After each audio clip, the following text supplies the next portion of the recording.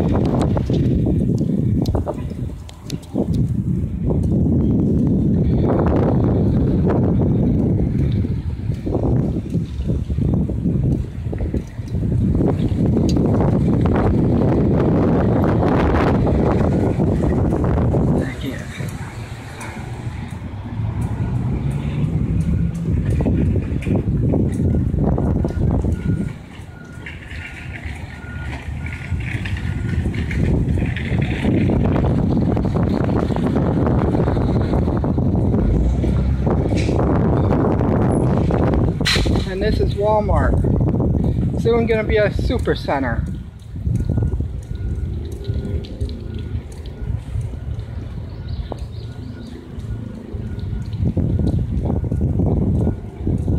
And there's Nick's Pizza.